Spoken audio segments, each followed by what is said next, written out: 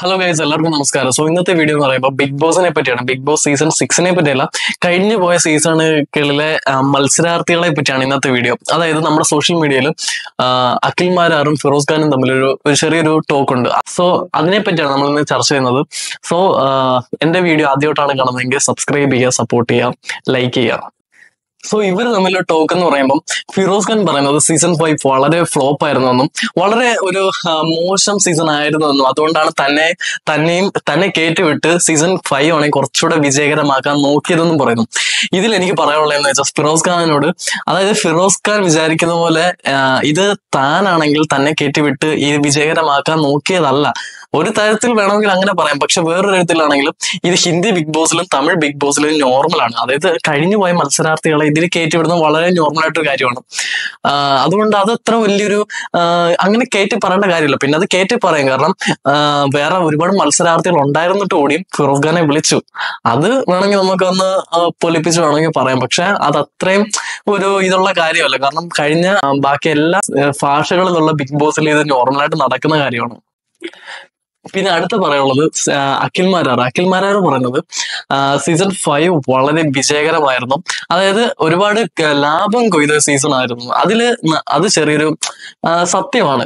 കാരണം എന്താണെന്ന് വെച്ചാൽ അത് പക്ഷേ സീസൺ ഫൈവ് ഭയങ്കര വിജയകരമായതുകൊണ്ടല്ല സീസൺ ഫോർ ഭയങ്കര വിജയകരമായതുകൊണ്ടാണ്. കാരണം സീസൺ ഫോർ ഭയങ്കര വിജയകരമായതുകൊണ്ട് തന്നെ സീസൺ ഫൈവ് വിജയകരമാകും എന്ന് വിചാരിച്ച് കുറെ സ്പോൺസേഴ്സും ഇതിൽ കൊണ്ടുവന്ന് ഇൻവെസ്റ്റ് ചെയ്യുകയും കുറെ സ്പോൺസേഴ്സിനെ കിട്ടുകയും ചെയ്തു. അതിലൂടെയാണ് ഇവർ ഇത്ര ലാഭം കൊയ്തത് എന്ന് പറയുന്നതാണ്. കുറച്ചുകൂടെ ശരി അല്ലാതെ സീസൺ ഫൈവ് അത്രയും മികച്ച ഒരു സീസൺ ആണെന്ന് നമുക്ക് പറയാൻ പറ്റത്തില്ല. സി എന്റെ ഒരു അഭിപ്രായത്തിൽ എന്റെ ഒരു പേഴ്സണൽ ആയിട്ടുള്ള ഒപ്പീനിയനിലും സീസൺ ഫോറും സീസൺ ടൂവും സീസൺ വണ്ണും ആണ് അടിപൊളി സീസൺസ് എന്റെ ഒരു പേഴ്സണൽ ആയിട്ടുള്ള അഭിപ്രായം സീസൺ ഫോർ എന്ന് പറയുമ്പോൾ വളരെ ത്രില്ലിംഗ് സീസൺ ആണ്. അതായത് നമ്മൾ എപ്പോഴും വിജയ അടുത്ത് എന്ത് നടക്കും എന്നൊക്കെ നമ്മളൊരു ത്രില്ലിംഗ് സീസൺ ആയിട്ട് കൊണ്ടുപോയി. അതുകൊണ്ട് ഭയങ്കര വിജയമായിരുന്നു. അത് മാത്രമല്ല സീസൺ ഫോർ കുറച്ച് ടോക്സിക് തിങ്സ് ഉണ്ടായിരുന്നെങ്കിൽ പോലും നമുക്ക് എന്റർടൈൻമെന്റ് ഇഷ്ടംപോലെ ഉണ്ടായിരുന്നു. കണ്ടുകൊണ്ടിരിക്കാം പക്ഷെ പക്ഷേ കമ്പയർ ടു സീസൺ ഫൈവ് അങ്ങനല്ല. നമുക്ക് സ്മൂത്ത് ആയിട്ട് ഇങ്ങനെ പോകുന്നു എന്നല്ലാതെ ഒരു വലിയൊരു ത്രില്ലിംഗ് ഇല്ല. അതേപോലെ സീസൺ വണ്ണിലായാലും സീസൺ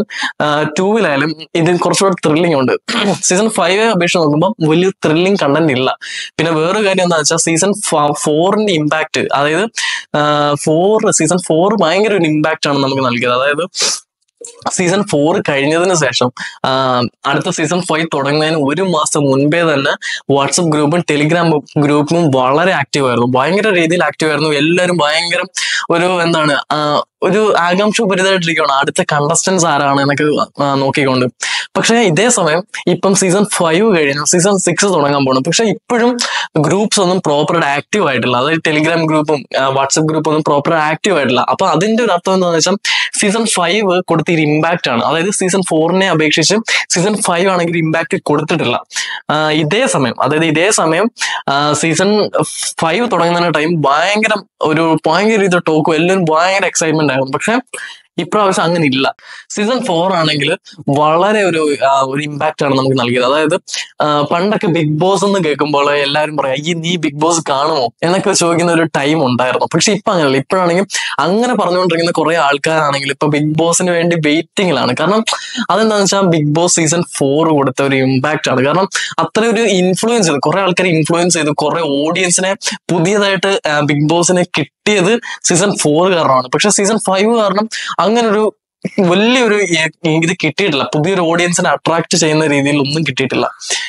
സോ സീസൺ ഫോറിന്റെ വിജയകര വിജയമാണ്. സീസൺ ഫൈവിൽ ഇത്രയും ലാഭം കൊയ്തതും കുറെ സ്പോൺസേഴ്സിന് കിട്ടാൻ കാരണമായിരുന്നു. അതാണ് മേ ബി അഖിൽമാര് പറയുന്നത്.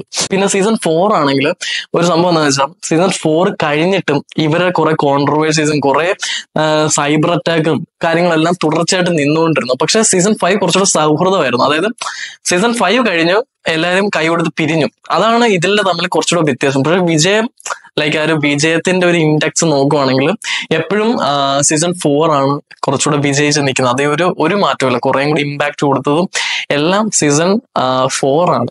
എന്താ വെച്ചാൽ ഇത്രേ പറയുള്ളൂ. സീസൺ ഫൈവ് വലിയൊരു വിജയകരമല്ല. അതുകൊണ്ട് ഇപ്പൊ ഞാൻ എക്സ്പെക്ട് ചെയ്യുന്ന അല്ല ഇപ്പൊ ഞാനാണെങ്കിലും വിചാരിക്കുന്നത് സീസൺ സിക്സ് തുടങ്ങാൻ പോവാണ്. മാർച്ച് പത്തിന് സീസൺ സിക്സ് തുടങ്ങാൻ പോകണം സോ അതെങ്കിലും കുറച്ച് നല്ല കണ്ടസ്റ്റൻസ് വരട്ടെ. കുറച്ചുകൂടെ ത്രില്ലിംഗ് സീസൺ ആയിരിക്കട്ടെ എന്ന് ഞാൻ കുറച്ച് എക്സ്പെക്ട് ചെയ്യുന്നു.